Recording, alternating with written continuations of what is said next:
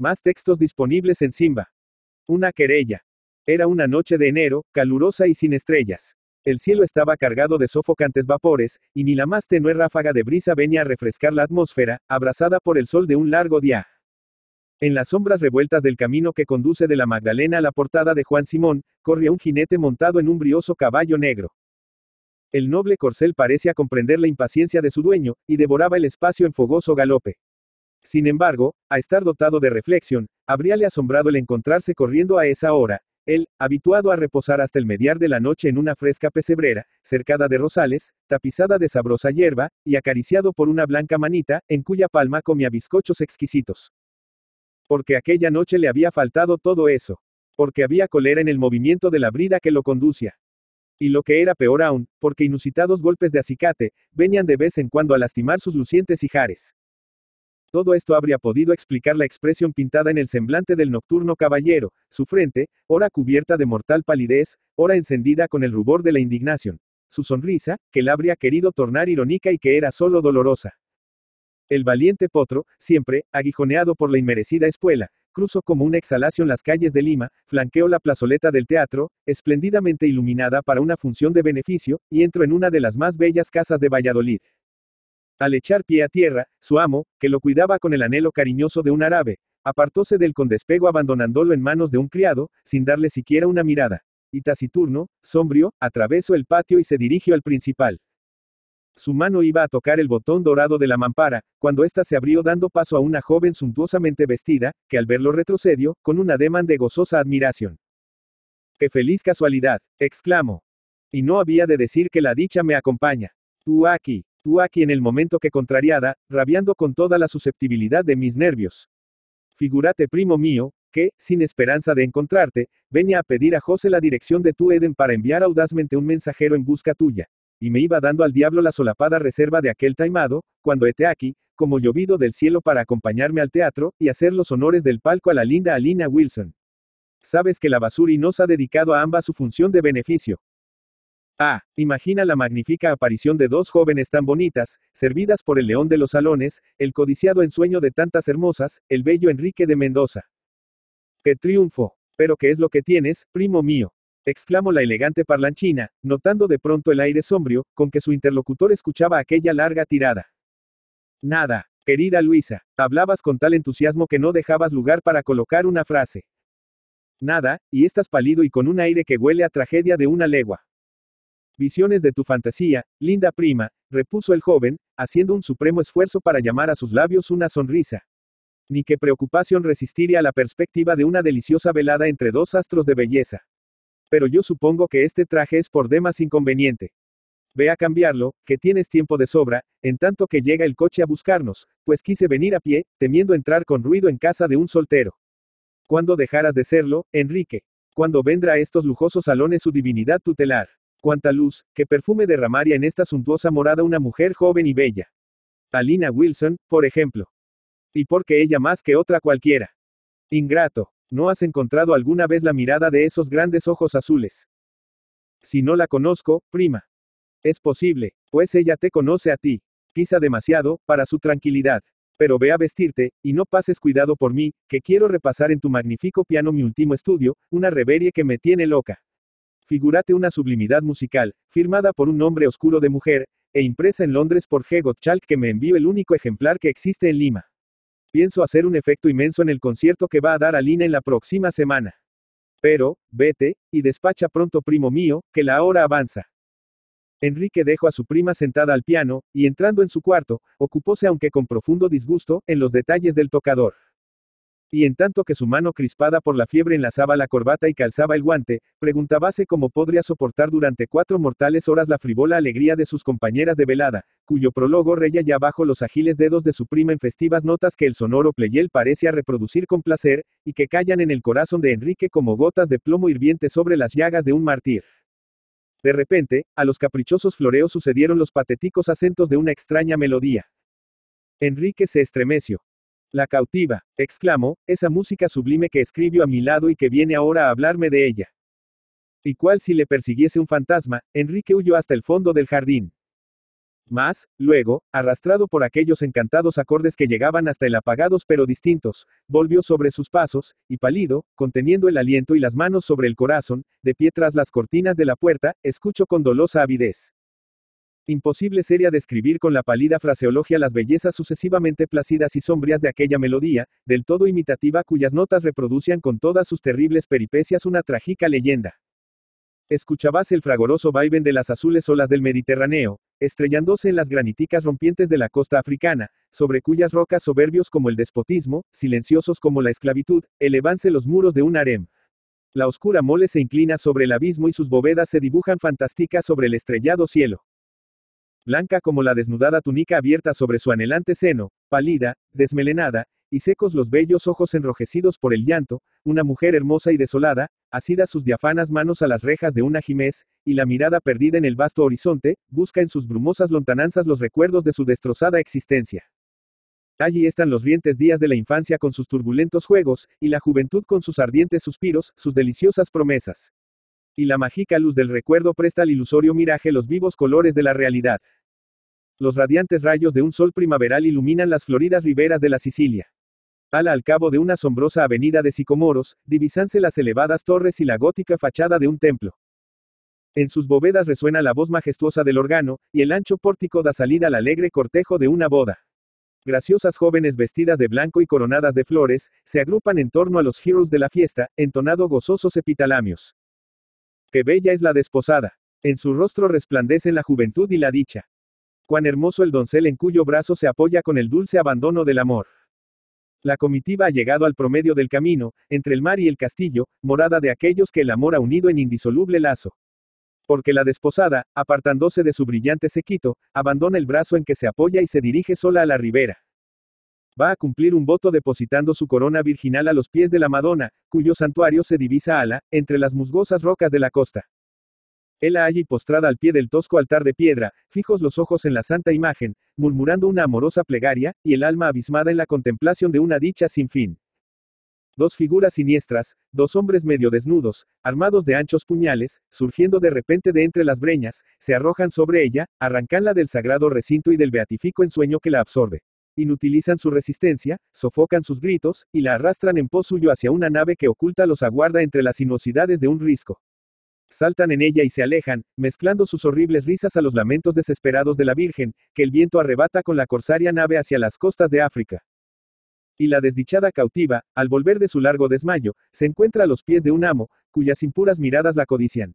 Pero que aplazando sus tiránicas violencias la encierra en una suntuosa alcoba, dorada jaula, cuyas rejas la infortunada sacude una a una, con rabioso terror, mesando sus cabellos, invocando al cielo y al infierno, hasta que exhausta de fuerza cae exanime en tierra. Enrique habría caído también, tan dolorosos eran los latidos que destrozaban su corazón, si lágrimas, arrancadas a pesar suyo por los recuerdos despertados en él, por aquella tétrica melodía, lágrimas amargas, pero al fin, lágrimas, no hubieran venido a aliviarlo. Más la pasión que en ese momento dominaba a Enrique, tiene la funesta propiedad de emponzoñarlo todo en el alma que sojuzga. El recuerdo de las palabras de su prima, respecto de aquella música, asaltó su mente, y la imagen de He Gottschalk surgió como una sombra más, en las tinieblas que ofuscaban su espíritu. Entonces también me engañaba, exclamó, mente en esas melodías celestiales, como mente en sus palabras de amor. Y haciéndose a su orgullo, y elevándolo a la altura de su dolor, arrojo con un ademán colérico aquellas benéficas lágrimas. Sereno su semblante, ensayo en el espejo una sonrisa y fue a reunirse a su prima, que lo llamaba porque era hora de partir. Poco después, en uno de los más visibles palcos de primera, vióse en compañía de las dos más bellas jóvenes de la fiesta, al león de los salones, al codiciado ensueño de las hermosas, que desde luego hicieronlo el punto de mira de sus gemelos. En cuanto a Enrique, parecióle a Lina la muchacha más linda que hasta entonces habían contemplado sus ojos. El recuerdo de la indiscreta revelación que poco antes le había hecho su prima, halago su espíritu. Dijóse que sería altamente descortes el no ofrecer a esa deliciosa niña algunas flores de galanteria y pensando además, que debía castigar y olvidar, diose obsequiarla con lisonjas apasionadas, que llegaban al corazón de la joven transformadas en ondas de ventura. Quien hubiera observado aquella noche a Enrique, habría notado que su actitud era violenta, y forzada su sonrisa, y que frecuentes distracciones absorbían su mente y le cortaban la frase. Mas sus compañeras, la una interesada en creer, la otra demasiado ocupada de sí misma, juzgaron lo apasionadamente enamorado, y el mismo embriagado con sus propias palabras, comenzó a sentir en ellas un eco de verdad, y cuando salió del teatro dando el brazo a la bella Alina, orgulloso de las miradas de admiración y de envidia que encontraba al paso, creyóse casi curado del mal que rolla su alma. Apenas había tenido tiempo de cambiar con los bellos ojos de Alina la última mirada, al partir el carruaje que llevaba a las dos amigas, cuando una mano vino a posarse familiarmente en su hombro. ¿Qué es esto? Exclamó Eduardo, uno de sus íntimos amigos, con gozosa admiración, tú, en la tierra de los vivientes, misántropo del amor. ¿Qué milagro te devuelve a la sociedad, a tu bella prima, a tu carrera de conquistas? Porque, no lo niegues, acabas de hacer una, una conquista, ¿a qué das tú ese nombre? Al hecho de pasar toda una velada al lado de una mujer, monopolizando sus miradas, sus sonrisas, atravesar el largo trayecto del palco al estribo del carruaje llevándola tiernamente apoyada en vuestro brazo, mirando vuestros ojos en sus ojos, decirse adiós en una cariñosa ojeada. Va, si no es eso una conquista. Pero ¿qué es lo que ha pasado al abajo las encantadas arboledas de la Magdalena? Tú aquí, ha entrado en aquella deliciosa casita el fuego o la peste. Al contrario, como que a esta hora se duerme allí tranquilamente. Ah, ya sé, una querella. Está celoso de RJ, que mezcla siempre el nombre armonioso de Murray en sus sentimentales cantos. ¿Has enojado acaso a tu despótica beldad con alguna mirada que osaste dirigir a otra, un suspiro de que no le diste cuenta al momento? Oh bien. Basta de suposiciones, Eduardo, no la veré jamás. Estamos separados para siempre, ya lo sabes todo. Oh, no te enfades, y recibe más bien mis sinceras felicitaciones. Ya era tiempo de sacudir ese yugo feudal que te sujetaba, lejos de tus amigos y de la sociedad, a los pies de una mujer que, si es linda, carece de posición, y no tiene más fortuna que una casita rústica, un bosquecillo de rosales, su piano y sus pinceles, objetos admirables bajo su mano, es cierto, pero sin valor intrínseco en nuestro metalizado mundo. Conclusión. A un joven rico y brillante como tú, una rica heredera como Alina Wilson, que representa una gran fortuna, y un nombre nobiliario en Inglaterra. Entretanto, para recatar de alguna manera la vergüenza de esa tonta existencia que llevabas, entregate a la deliciosa vida de soltero, y saborea alegremente sus últimos goces. ¿Quieres cesar de fastidiarme con tus ruines especulaciones? Sí, a condición de que tomes parte en la fiesta que tiene lugar esta noche en los salones de Tulia. ¿Quién es Tulia, si gustas decírmelo? ¿Quién es Tulia? Ah, si olvidaba que hablo con un antipoda. En verdad, que de un año acá te has hecho enterrar vivo. Oh, tengo lástima de ti. Tulia, figúrate, desgraciado, un ser delicioso, fantástico, verdadero proteo que reviste sucesivamente todas las gracias y los más opuestos géneros de belleza. Creó la nuestra fantasía una noche que, fastidiados de las monotonas veladas del club, inventamos un palacio encantado rodeado de sombrosos jardines, dominio de una misteriosa beldad, que nos reuniera en suntuosas oirees en medio a un cortejo de hermosas mujeres, ocultas como ella, bajo el picante antifaz. Un comité fue encargado de arreglar con 12 mil soles al mes, la regia morada de Tulia. Y otro entre los mejor relacionados, de renovar el personal de cada fiesta. Esta noche soy yo el caballero de la reina, ¿quieres ocupar mi lugar? Y bien, sí. Jorah. Curado el joven, curado del tonto amor que lo encerraba en un limbo.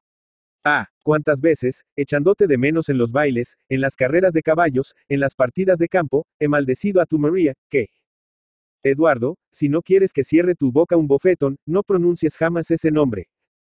Me callo, me callo, haz de cuenta que nada he dicho. Pero vendrás a la fiesta. Piri, lo he dicho ya. Se juega allí. Por supuesto. ¿Qué fiesta puede haber sin juego? Entonces, vuelvo a casa para tomar dinero. Vienes conmigo. Es mejor que adelante para anunciarte. He aquí mi tarjeta de introducción. Soy Rui de Tulia, Naranjos, 4. Está bien. Hasta luego. Oh, qué placer voy a dar a tus amigos. José salió al encuentro a su amo para ayudarlo a desnudarse. Enrique le ordenó dejarlo solo, y entró en su cuarto. Abrió su escritorio tarareando el rondo final de la ópera. Quería aturdirse, y acallar con la algazara de la vida exterior el lamento que se elevaba en su alma. Lleno de oro sus bolsillos, y sonriendo con amargura. Estoy en fondos, se dijo, y puedo perder largamente. Llevo hace un año una vida tan tonta. Eduardo tiene razón. Era tiempo de que todo esto acabase. Queriendo tomar algunos billetes de banco, abrió por distracción una gaveta llena de cartas. Al verlas, Enrique retiró bruscamente la mano, cual si hubiera tocado un áspid. Pero una fuerza superior a su cólera lo atrajo de nuevo hacia ellas. Abríalas una a una, y leía su última frase.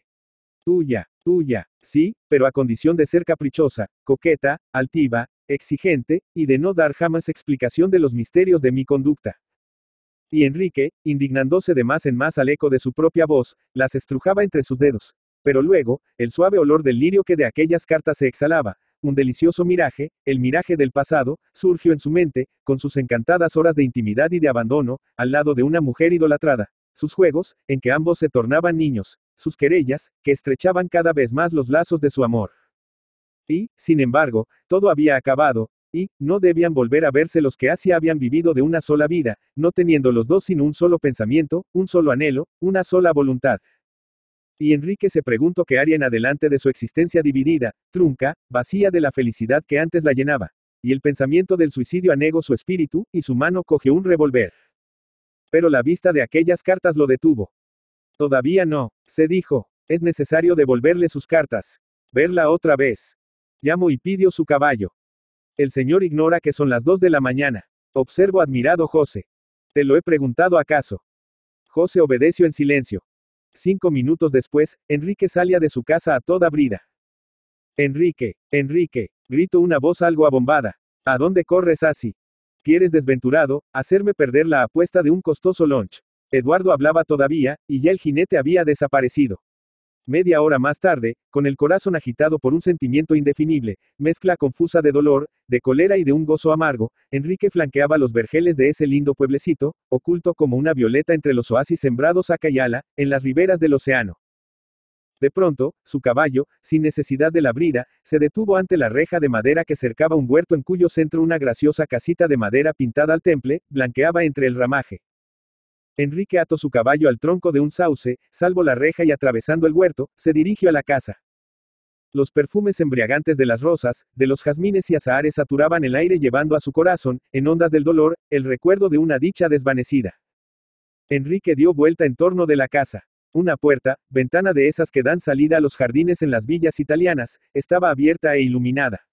Enrique se detuvo ante ella. Una mujer vestida de blanco, los codos apoyados en una mesa y el rostro oculto entre las manos estaba inmóvil y silenciosa. Delante de ella veíanse los fragmentos de un retrato. Al ruido que la arena hizo bajo el pie de Enrique, un rostro bello aunque en extremo pálido se volvió hacia él. María, iba a exclamar Enrique, pero una fría mirada cambió aquella apasionada invocación en una frase ceremoniosa. Suplico a usted, señora, la dijo, que me perdone si, aunque con profundo disgusto, regreso a su casa. Mañana emprendo un largo viaje. Y antes de partirme es necesario devolver a usted objetos que no pueden confiarse a nadie. Y le presento un paquete de cartas. Recibiólo ella en silencio y lo arrojó sobre la mesa. Me será permitido demandar igual restitución. Añadió Enrique, irritado de esa aparente serenidad. María se levantó, fue hacia un escritorio, tomó un paquete sellado y se lo entregó.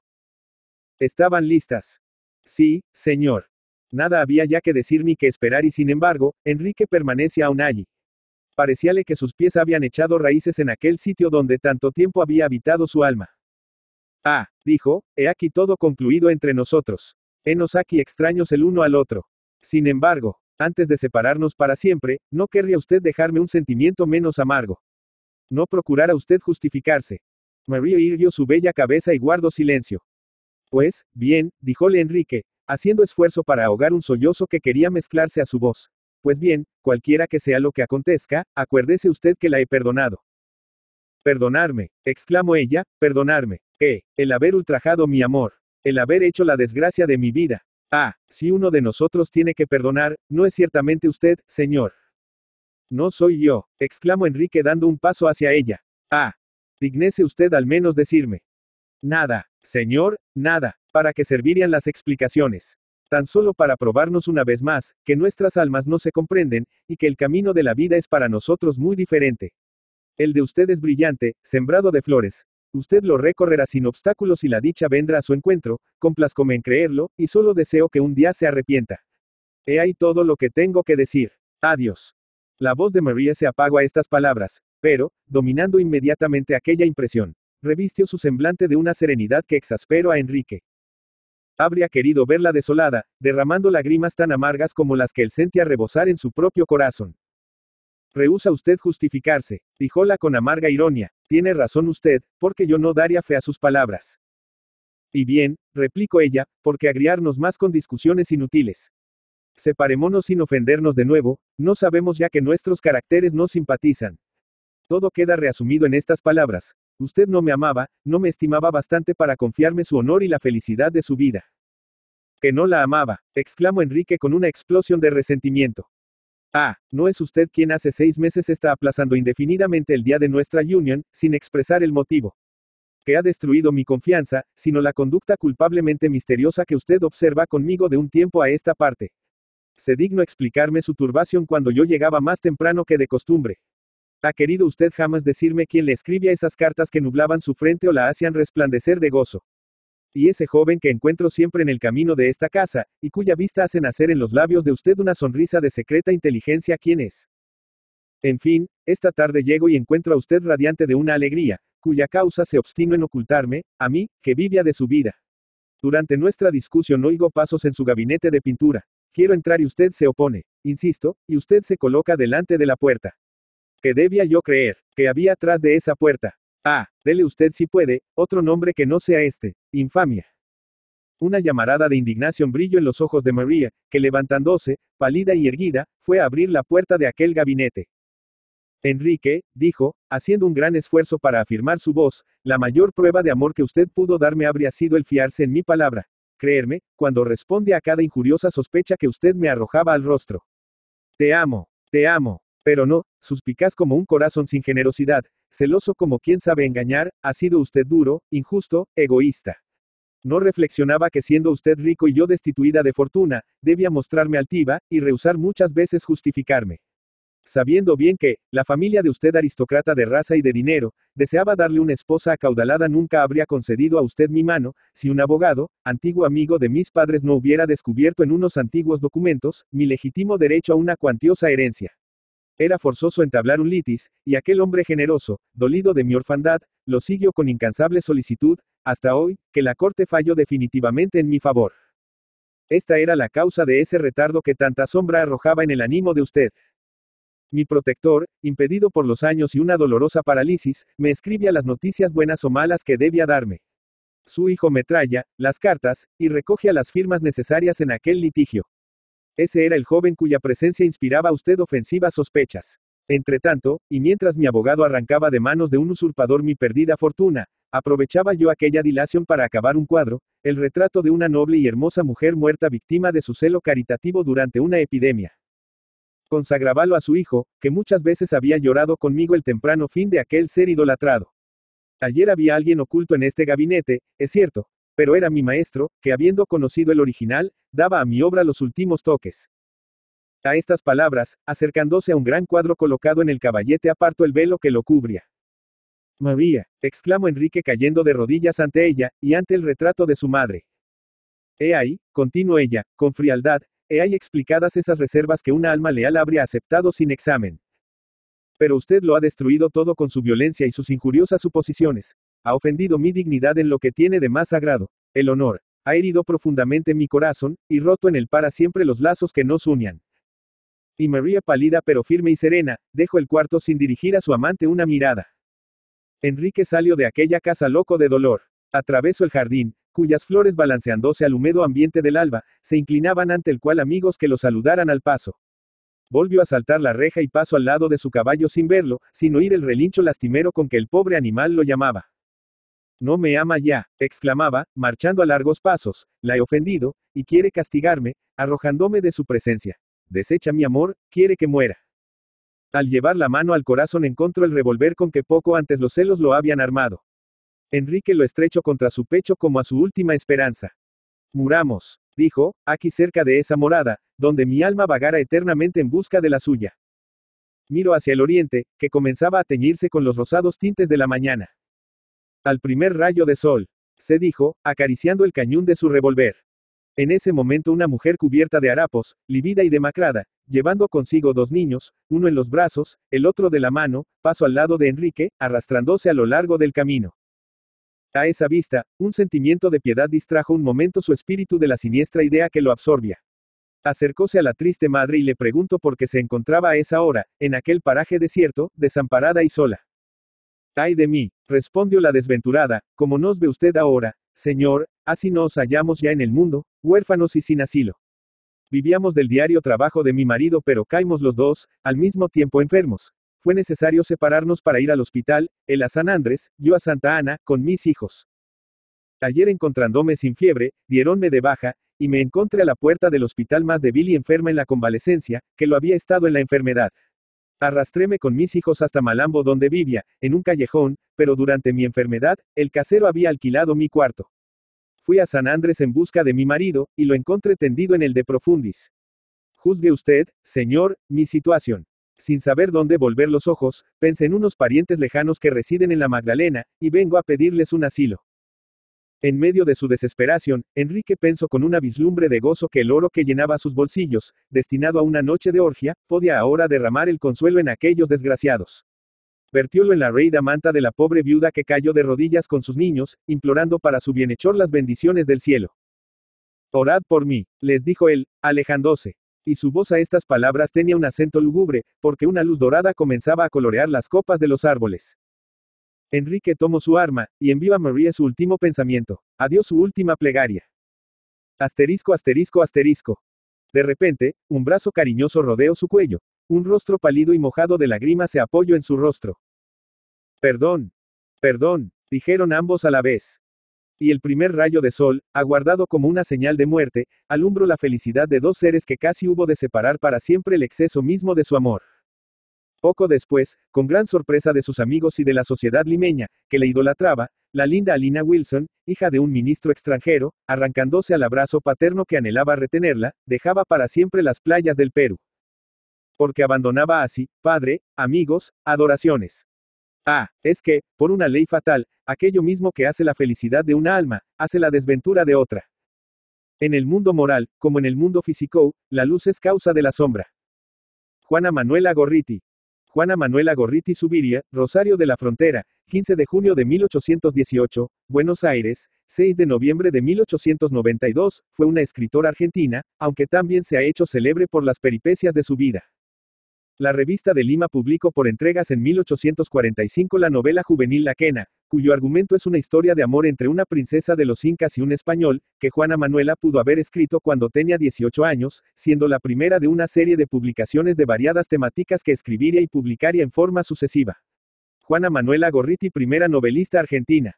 En 1848 publicó el relato La Quena, obra que marcó el inicio de la novela en Argentina. A esta publicación le siguieron una extensa serie de títulos como Sueños y Realidades en 1865, Don Dionisio Poc y El Pozo del Yochi en 1869, Panoramas de la Vida en 1876, dos años después Misceláneas, en 1892 escribió tres libros, La Tierra Natal, Perfiles y Veladas Literarias de Lima. Gorriti va perfeccionando su escritura a medida que va desarrollando su vida, centrándose en la región andina de Argentina, Bolivia y Perú. En sus textos se puede analizar cómo se construye un espacio femenino dentro de la cultura de cada país además de otros aspectos culturales.